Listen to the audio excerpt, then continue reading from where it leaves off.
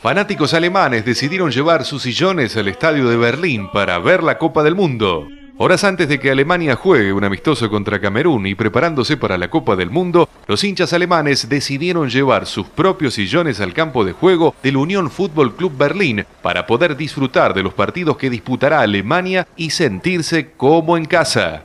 Los aficionados y simpatizantes del club de segunda división de la liga alemana llegaron con sus sillones en autos, camiones e incluso algunos los trasladaron desde su casa sobre los hombros.